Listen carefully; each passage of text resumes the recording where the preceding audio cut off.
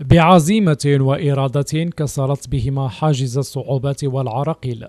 تزاول الشرطية حكيمة بوحبيلة بنة قسنطين مهامها المتمثلة في استقبال المكالمات بالمركز الولائي للمراقبة بالفيديو وتوجيه المواطنين عبر الخط الأخضر للأمن الوطني وهي مهنة عشقتها منذ طفولتها.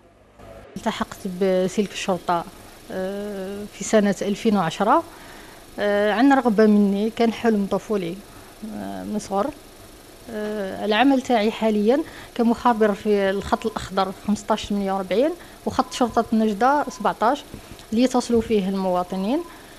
الهدف تاعنا لهنا هو استقبال مكالمات تاع المواطنين فيما يخص تدخلات إرشادات توجيهات. حكيمة وإن كانت فردا من أفراد الشرطة.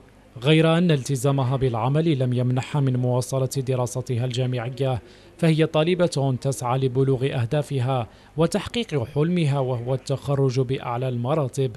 بالإضافة للحياة المهنية آه، ما زلت أزاول دراستي ليسانس علم الاجتماع جامعة قسنطينة 2 آه، بالإضافة إلى الحياة الخاصة المنزل الوالدين الوقت قصير والمشاغل كثيرة كما يقولوا.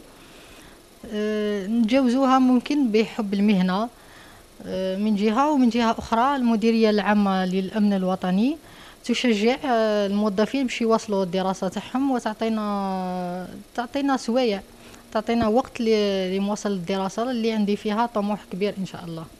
هي نموذج عن المرأة الجزائرية المكافحة التي تواجه الصعوبات من أجل بلوغ الأهداف وإثبات الذات حتى وإن كان المجال حكرا على الرجال.